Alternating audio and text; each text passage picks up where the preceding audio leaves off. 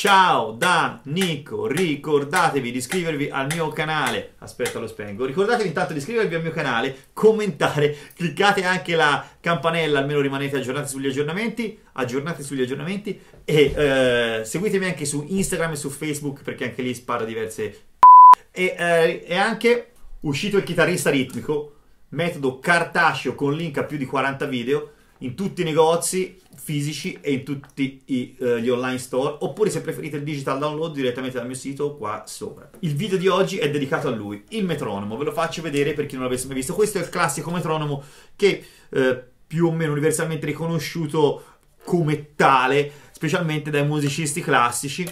È composto da una scocca in legno e una lancetta che scandirà il nostro tempo. Come facciamo a cambiare il tempo? Spostiamo questo, questo bilanciere in alto per rallentare oppure in basso per aumentare. Aumentare. Su antagonista il metronomo digitale, quello che troviamo anche come applicazione sui telefoni oppure come vero e proprio metronomo. Eccolo qua. Vanno bene tutti e due, però diciamo che il metronomo è riconosciuto a tutti i musicisti un po' come palloso, un po' noioso, antipatico come sonorità, però tutti riconoscono che sia utile. Anzi, vi dico, anche se pensate di non avere problemi di tempo, esercitatevi col metronomo. So che nessuno di voi lo fa. Guardatemi bene in faccia. So che nessuno di voi lo fa, ma da oggi lo inizierete a utilizzare in ogni vostra sessione di allenamento chitarristico. Perché? Perché ve lo farò apprezzare perché lo userete in una maniera diversa. Facciamo un passo indietro a quando ho imparato a usare il metronomo in questo modo che vi illustrerò a breve. Qualche tempo fa ho preso alcune lezioni da Riccardo Galardini, un uh, jazzista, didatta, grande chitarrista, suonato anche nell'ambito pop con Fossati, ha registrato tantiss- per tantissimi artisti. Mi ha fatto conoscere Riccardo una chitarrista che si chiama Emily Remler, che è scomparsa eh, che però aveva fatto dei video intorno agli anni 80 dove lei spiegava come utilizzare il metronomo sul 2 e sul 4, ricordate queste due parole, sul 2 e sul 4, per capire meglio lo swing nella musica jazz. Allora, noi però, non so se siete jazzisti voi, io non sono un jazzista, mi piace fingermi ogni tanto, qua infilare un po' di linguaggio jazz nel rock, nel pop, ma non sono assolutamente un jazzista. Però ho detto, perché questo linguaggio del metronomo 2 sul 2 sul 4 dobbiamo usarlo solo se facciamo jazz? Possiamo utilizzarlo nella musica diritta, rock, tu, tu, a ottavi dritti, quindi non shuffle, non swing, eccetera? Ma certo, Prima di tutto vi faccio sentire come un metronomo a cose normali viene utilizzato da tutti noi, cioè noi impostiamo una velocità che in questo caso è 60 bpm, quindi come l'orologio, e ci suoniamo insieme sui quarti, cioè... E ci facciamo le nostre scale, le nostre canzoni, eccetera. Ma adesso vi farò vedere come usare il metronomo in una maniera molto più utile, secondo me, e anche molto più divertente. Allora, intanto diamo il via al nostro metronomo. Ascoltate bene, a cose normali ne faremo 1, 2, 3 e 4. Trasformiamo adesso i battiti, i click del metronomo in 2-4. Immaginiamoci che il metronomo suoni solo sul 2 e sul 4. Praticamente che il metronomo faccia il rullante. Piccola parentesi, la cassa della batteria, la gran cassa, quella che il batterista suona col piede destro, suonerà l'1 e il 3. Il rullante suonerà il 2 e il 4, mi raccomando 2-4, 2-4 è il cosiddetto backbeat, 2-4 è quello che dovrete scandire anche quando andate a concerti e battete il tempo con le mani, mi raccomando combattiamo questa cattiva abitudine di scandire il tempo sull'1 e sul 3. It's like this. 2 e 4.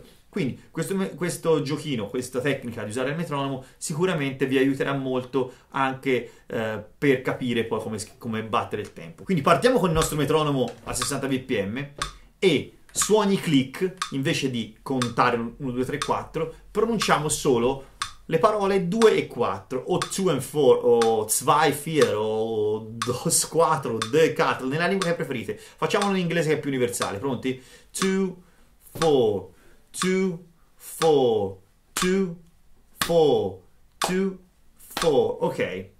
Adesso nei silenzi, negli spazi tra un click e l'altro inseriremo la parola one and three.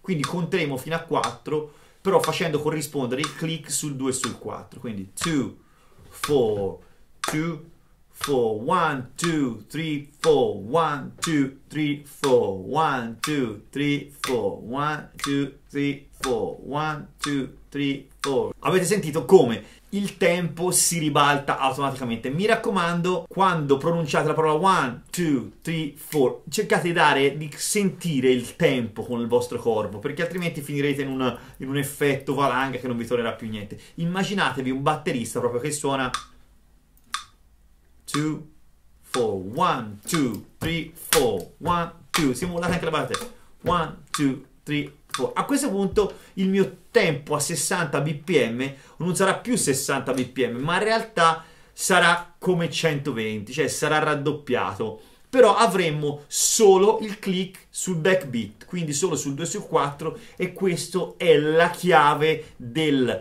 ritmica sulla chitarra, cioè il seguire il backbeat, seguire il rullante. Se volete approfondire questo modo di suonare sul 2 sul 4, anche sul chitarrista ritmico c'è una lezione dedicata a tutto ciò. Il chitarrista è tanto legato al rullante e al charleston quanto il bassista è legato alla cassa.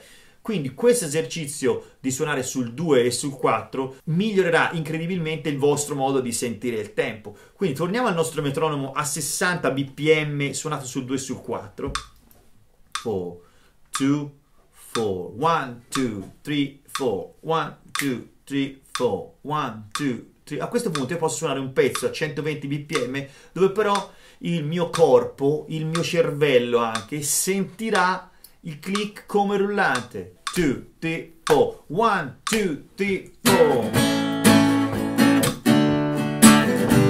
Quindi avete sentito, il metronomo era 60 bpm, quindi un bpm lento, però sentivo molto di più il groove del rullante. Tum, ta, tum, tum, ta, tum, ta, tum, tum. One, two, three, four.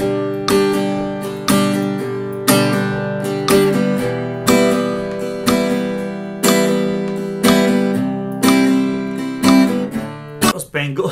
Sicuramente è una cosa più simpatica e più stimolante rispetto al classico metronomo in quarti. Uh, ricordatevi che naturalmente il BPM sarà dimezzato, quindi se dovete fare una canzone a, sess- a 120 dovrà diventare 60, quindi uh, è normale che rimarrete sempre in un range di click molto radi, abbastanza radi, diciamo. Esercitatevi partendo da BPM molto bassi, io direi dai 40 più che bene, 40, 60, 70 BPM e provate a suonare scale, accordi, ma specialmente le canzoni su cui dovete esercitarvi, specialmente quelle con lo strumming, uh, avrete proprio un feeling totalmente diverso e vi sembrerà di suonare insieme a un vero batterista. Dimenticavo, questa cosa la potete fare anche con il metronomo meccanico tradizionale. Two, four. One, two, three, four. One, two, three, four. Yeah!